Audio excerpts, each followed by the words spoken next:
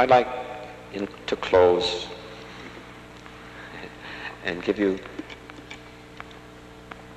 some description of the support we've gotten from the different people to produce this and acknowledge that. And uh, back in Menlo Park, we've got quite a team of people surrounded by quite a bit of equipment that have been busy listening to us and trying to control and switch.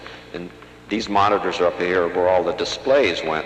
The cameras went for some use, and the displays go here so that they can monitor the different signals and switch and send us what one we want. All right, and I particularly want to give appreciation to Bill English, who has not only designed all of the hardware, or you know, been responsible for the hardware and software development that gives us our service system over these years, but in the last few months put together the considerable network of uh, intercoms and video switching and controls and mixers, begged, borrowed, and stolen that would provide this show to make it come off like that.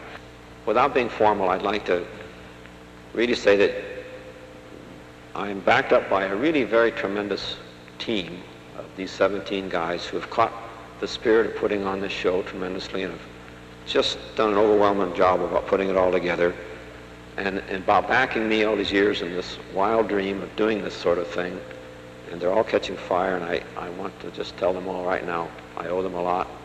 And a very final credit goes to my wife and daughters who are out here, to whom I'd like to dedicate this whole presentation because of what they've put up with over these years with a husband that dedicated in a monomaniacal way to something very wild.